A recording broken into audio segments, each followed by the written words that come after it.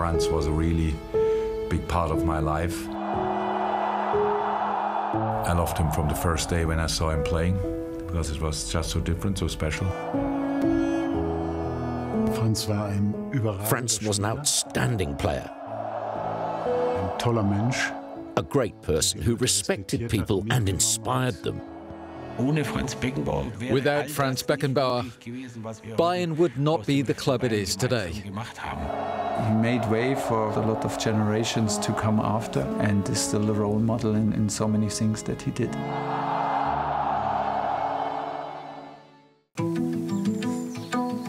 Munich. It was here in 1945 that Franz Beckenbauer was born. It was just, I'd say, a very, very happy time. Because there was no envy back then. There were no social differences. Everyone was the same, and you felt that. Nobody needed to be jealous of others because they now wore particularly nice shoes. That's how it was. That's why I describe my youth as a very happy time.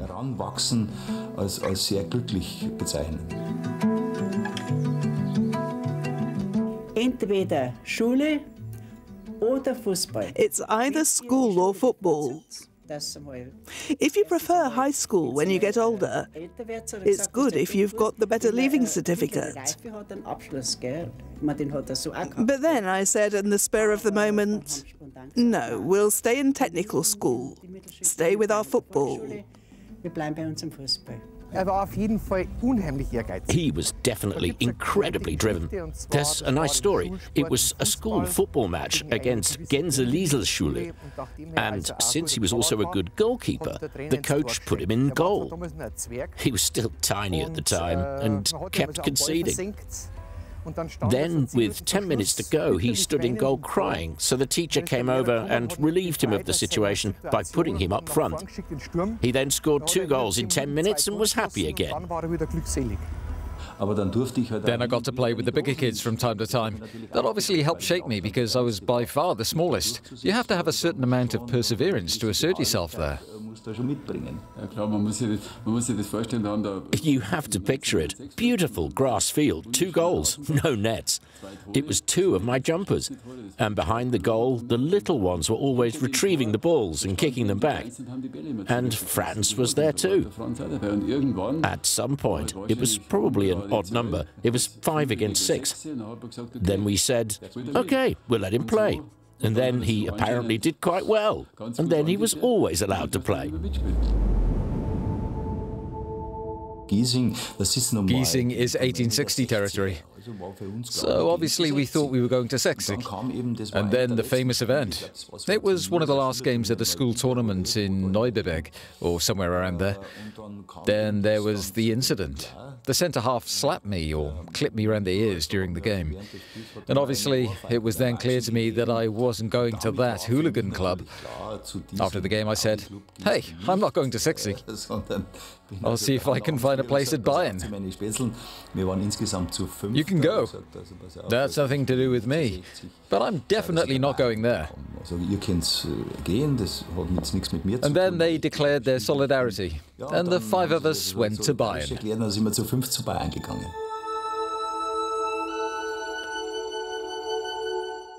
And so, in 1964, Beckenbauer joined Bayern München, where Franz from Giesing would become Der Kaiser. Named Sportsman of the Year 1965 by readers of a big South German newspaper, beating none other than 1860 goalkeeper Peter Radenkovic in second. Critics and football experts all agree that Beckenbauer is German football's greatest talent in years.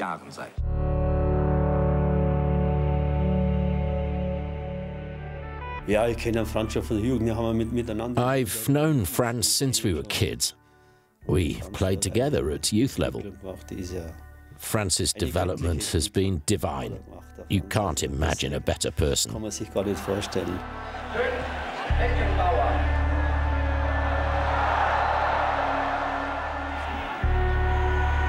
Beckenbauer. Beckenbauer. Beckenbauer. 2 0. We then won the cup that season as a promoted team, the National Cup.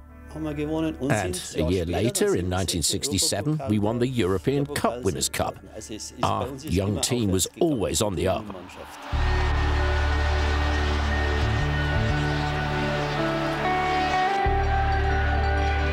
Tschik Čajkovski, the first coach, was a bit like a friend. And that creeps in with young people. Then you're a bit disorganized, not so focused. And then they brought in Branko Zebec, a tough coach, and that had an effect. And then in 1969, we won our first Bundesliga title.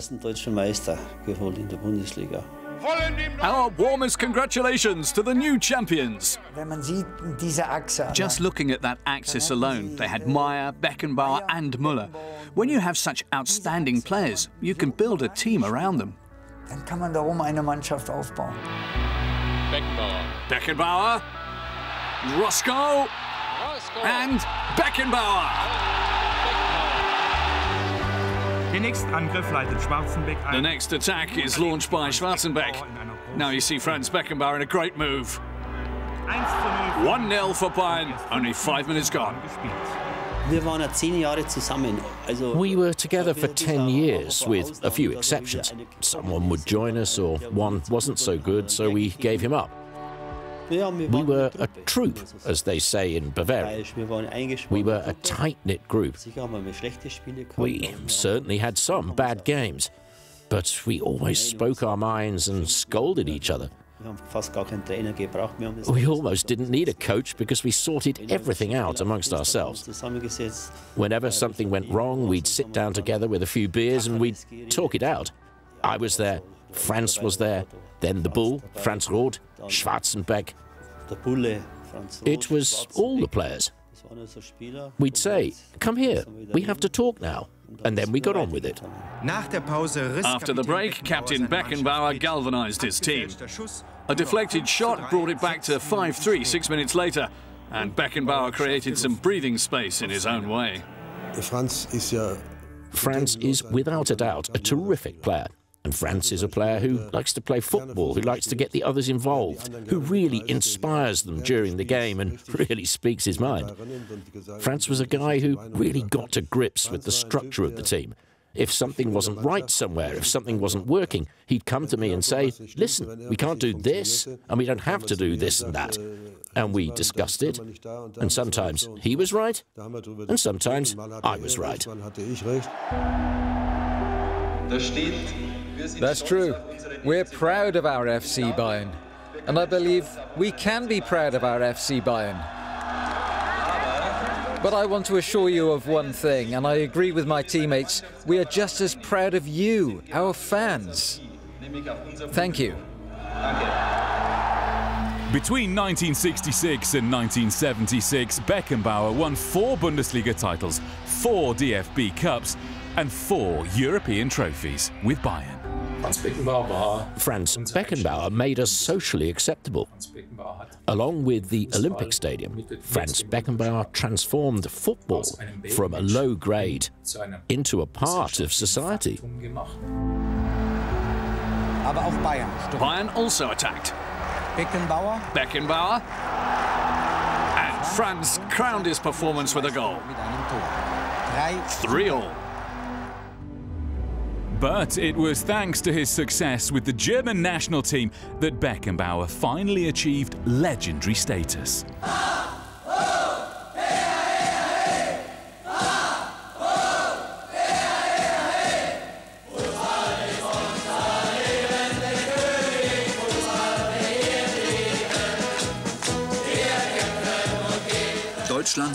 Germany's national football team, the most expensive choir in the world, here recording their first record, Football is Our Life. Fans thought the move from the stadium to the studio was a clever tactical manoeuvre by the coach to stimulate his players' confidence. An opportunity to ask Helmut Schön what concept he was using to prepare his team for the 1974 World Cup. The footballing ideal would be a mixture of both, namely the great individual technique of the South Americans with the sober practicality of the European players.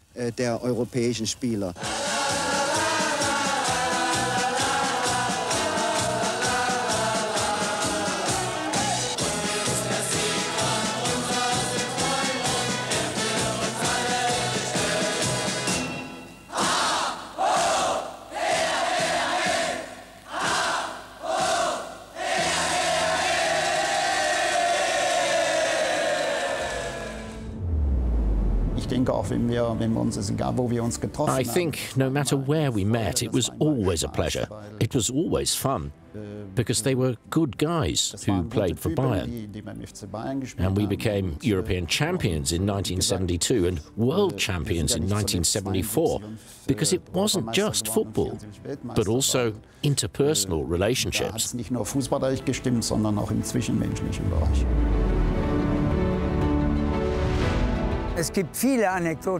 There are many anecdotes, but I can't tell you all of them.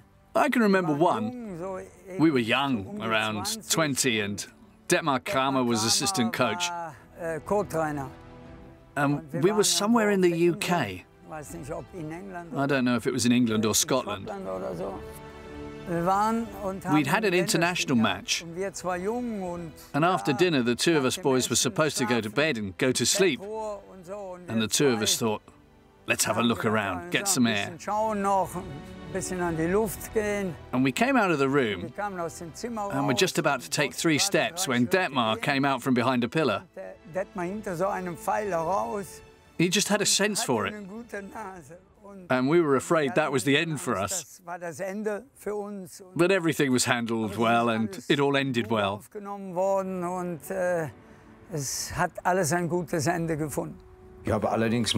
However, I sometimes got annoyed with him because, and I stand by this today, he didn't score enough goals as such a good player, given how I viewed football. He's a great player, even better in attack than defence. And that was also overlooked a bit. And I always looked for arguments with him, and had arguments with him, just like Sepp Herberger used to have arguments with Fritz Walter. I told him, you have to score more goals. And I think he realizes that today. As a player, he would have become even greater, even bigger with more goals.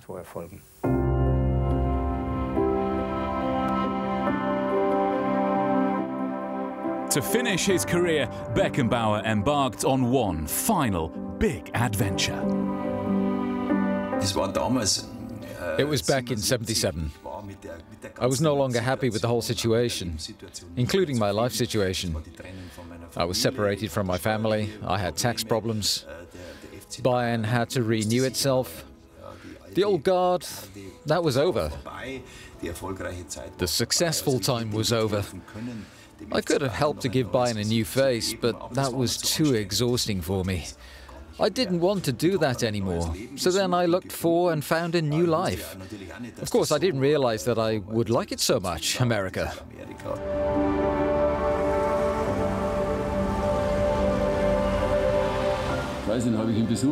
I remember visiting him in New York. We sat in Central Park for hours. Nobody recognized him. And we talked and talked about all sorts of things, family stories. New York also had an incredible impact on him. You learnt English. His whole nature was simply much more open. That was a great time. Very proud, and it is a big honor for me to have this wonderful day and to, tell him to celebrate with the beautiful people and the beautiful crowd in the world. When you call it, even back then, the Comedy League, you have to imagine that at the time the best players in the world all played in America.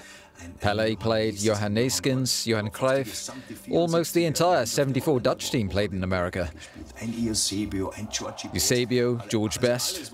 In other words, anyone who was anyone in the 60s and 70s played in this league in America. And some of the football played was outstanding. Perhaps not quite as athletic and fast as here. Most of them were over 30, but you couldn't underestimate it. Look at those three players at the end of the line. Are you serious? Beckenbauer, Pele, and Chinaglia, three of the greatest that have ever played the game.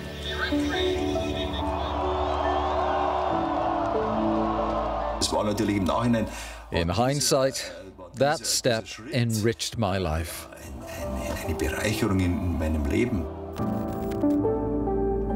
In October 1980, Beckenbauer briefly interrupted his New York chapter as he returned back to the Bundesliga with Hamburg.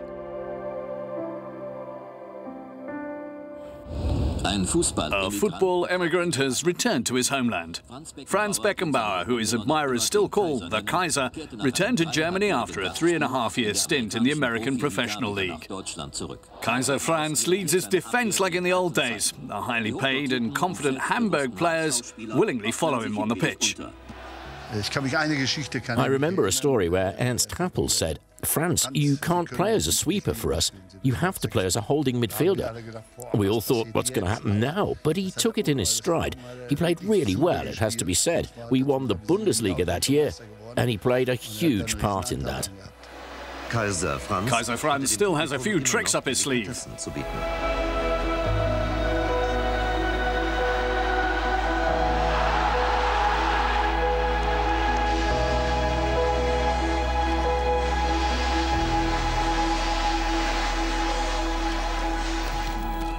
Beckenbauer had been laying the foundations for future fame and fortune, even as a very young player.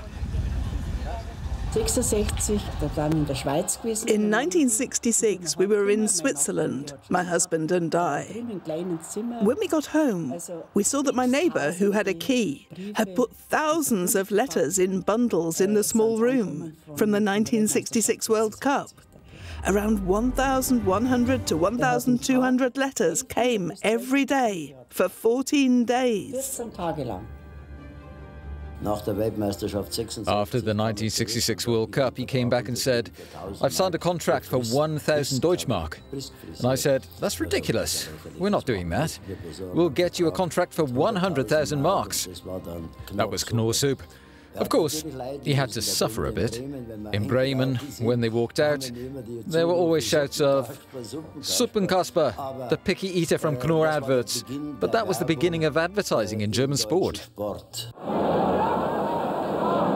What a finish from Franz Beckenbauer! And what a finish from Knorr! Stew soups, hearty, savoury, simply great. Mmm, power on the plate, Knorr on the table. Mm. Quality soup. Robert Schwan actually kept everything that could be kept away from him away from him. It was difficult to get close to him. I don't think Franz cared too much about that either. That was really the sole responsibility of Robert Schwan. And as it turned out, in retrospect, he really did an excellent job and was actually the first general manager to look after a player. And he'd been doing that since Franz was 18. Beckenbauer set the bar high, also later as a coach, although he did once say, I don't want to have anything more to do with football later on, and a career as a coach is probably out of the question for me. Franz never wanted to be anything. We had a chat with Helmut Schön in 1974. Helmut said, You could take over my job one day. Franz said, Oh, no, not me. And what happened 20 years later? He was national team manager. He's finally got his coach's bench and has no reason to stand up. Or does he? It wasn't as if everyone was shouting, hooray, right from the start. The Coaches Guild came along and said, Why? We've been doing our course for six months, and he gets handed his coaching license. It wasn't as if the red carpet was laid out for me. And the team was in a bad shape after the 1984 European Championships in France. And I got everyone together back then, the media first and foremost, and I said, Watch out. If you continue to be so negative about the national team, we'll never get a team together. We all have to stick together. If we want to build a powerful national team again, we all have to stick together. Your position on the left. Litti, go up top and score. Franz Beckenbauer was, of course, always the shining light in the truest sense of the word. Even as a young boy, he was a great idol for me. And then, of course, it was unimaginable at the time that he would become my manager at some point between the 1980s and 1990. We had a wonderful relationship for six years and enjoyed great successes. Incredible.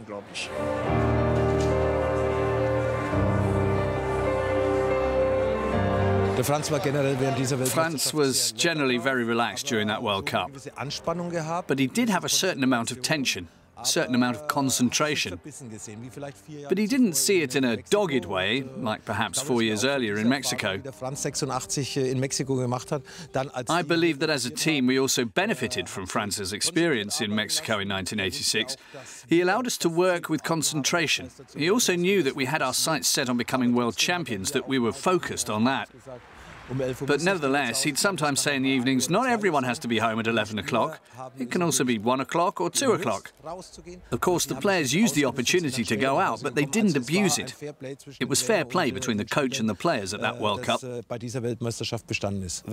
When Franz starts something, everything makes sense. Everything. And that's just Franz. Franz has a golden touch. That was also true as caretaker coach at Bayern, winning the UEFA Cup, the Bundesliga, and understanding the players. A personal anecdote. He was the coach who took me to the training camp in Tenerife in 1994 or late 1993 and he subbed me on in the first game after the winter break against Stuttgart. That means I played my first game as a professional under Franz Beckenbauer. I'm still grateful to him to this day because if that hadn't been the case, you never know what would have happened to me.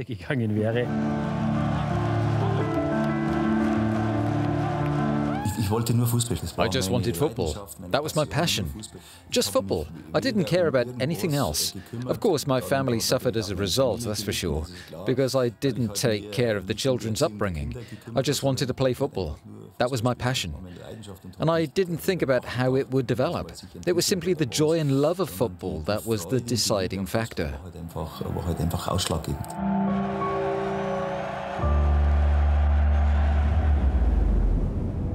The Kaiser's turbulent family life only became calm and stable with his last wife, Heidi.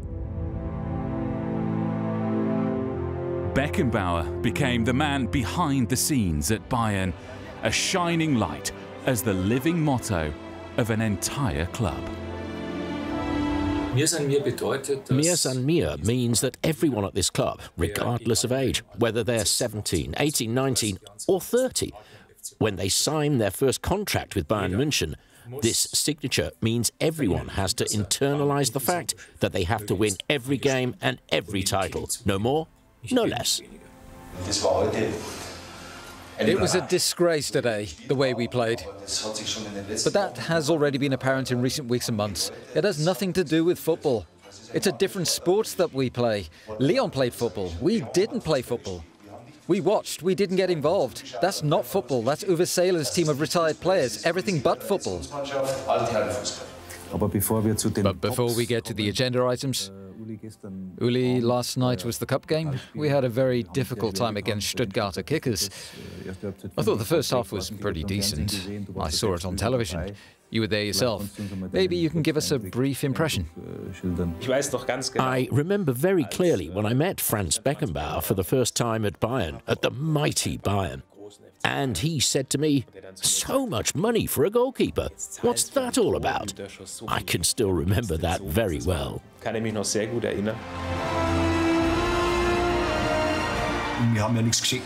Nothing was handed to us on a plate. We're envied and criticised from many sides. Well, they've got it all. But we didn't steal anything. We earned it all ourselves over the last few decades. And the crowning glory is, of course, the Allianz Arena. And I'm delighted and naturally a little proud because I've also played my part in it.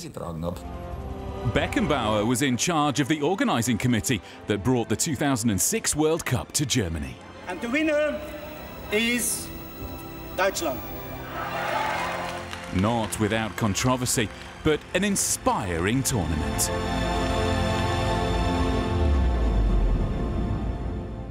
First and foremost, that he's the best person to meet ever.